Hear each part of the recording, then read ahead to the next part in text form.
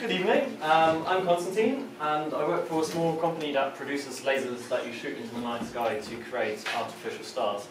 Now, you may be wondering, okay, but why would I want to do that? And so, imagine you're an astronomer, and all the objects of your heart's desire, they're out there in space, but you're stuck here on Earth inside the atmosphere. And the atmosphere is great because it means we can just breathe without having to wear spacesuits at all times, but it also means that you cannot get sharp images of your favorite galaxies. And so you look up there, and every, everything you see is just a bit blurry, and maybe you know something's hurtling towards you, you just can't really tell. Why is everything so blurry up there? Well, let's say we're looking at the, uh, the birth of a new binary star, and the light from this cosmic pretzel thing, it travels to it travels through the vacuum of space for years and years and years, minding its own business. Nothing ever happens to it until, on its last hundred kilometers or so before it reaches your telescope, it encounters the atmosphere and the atmosphere, well, it just jumbles up all that light, and by the time it gets to your telescope, it's a right mess. And so, what do you do? Well, first thing is you build your telescope on top of a mountain, you get a little bit closer to the stars, a little bit less atmosphere to contend with, and it does improve things, but it's really not quite enough. But luckily, astronomers are quite a clever bunch, and so they came up with this technique called adaptive optics, um, that somehow allows you to compensate for the effect that the atmosphere has on the light on its way through. Um, so how does that work? Well, the light coming from whatever you're looking at, it gets jumbled up by the atmosphere, and then it gets reflected when it reaches your telescope by this thing called a deformable mirror, and we'll come back, come back to that in just a second. It then travels to the beam splitter, and the beam splitter, it does what it says on the tin, it splits the beam, and uh, part of it travels to a thing called a wavefront sensor. Now that's just a special type of detector that can measure what the atmosphere does to the light on its way through the atmosphere, and that information is then fed into a computer that calculates in what way the deformable mirror has to change its shape in order to compensate for the effect of the atmosphere. And so the light that is transmitted by our beam splitter is corrected before it reaches your camera and you can get sharp images. This technique works extremely well, so before you upgraded your telescope, this is what an, a photo of Neptune would have looked like, basically just a blue blob. And now, with adaptive optics switched on, you can make out features on the surface. And essentially, if we can get sharper images, we can learn more about what we're looking at.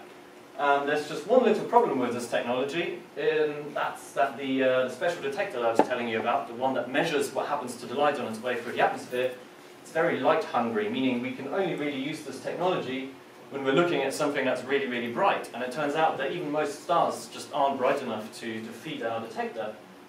And so, remember in the beginning when I told you that I work for a company that produces lasers that you shoot into the sky to create artificial stars? Well, this is where we come in. And you point, uh, you get one of those lasers, or four in this case, and you bolt them to your telescope, shoot them into the night sky, and now you can create an artificial star that's bright enough for your detector to work whenever you need it, wherever you want it. And um, how does that actually work? Well, it turns out that in 100 kilometers altitude, so right at the outer edge of the atmosphere, there's a whole bunch of sodium atoms flying around. And when we hit them really hard with a powerful laser, they get excited. And when they're excited, they emit light. And that's our guide star that we can use for our detector to run. And um, the results, they're pretty similar. So if you use a laser guide star or a natural guide star, the result is pretty much the same. You get sharper images, whether you're looking at Saturn or satellites. Um, that's up to you. And so why, why is this important? Well, I think firstly, it allows us to learn more about, um, about our universe and to satisfy our natural curiosity, and for that we need sharper images. Um, secondly, there's more and more um, satellites circling our Earth, but at the same time, unfortunately, there's more and more space rubbish flying around out there.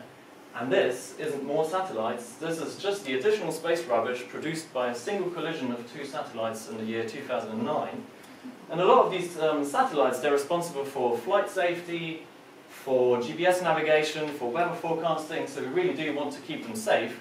And in order to do that, we need to be able to uh, properly map and get sharp images of what's going on up there. And thirdly, there's a whole bunch of asteroids and comets and stuff flying around up there. And with an adaptive optics, well, hopefully we can get more news like this.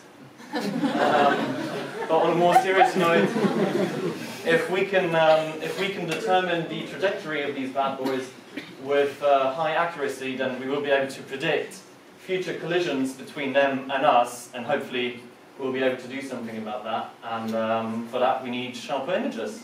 So thank you very much for your attention.